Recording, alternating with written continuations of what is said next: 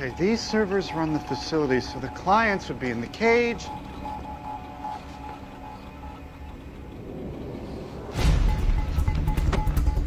Yeah, this guy.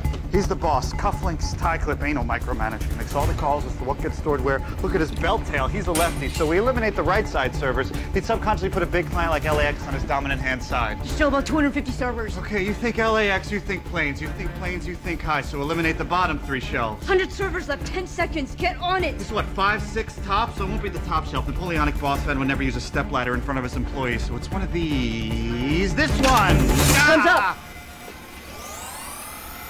I didn't know for sure. It says LAX right here.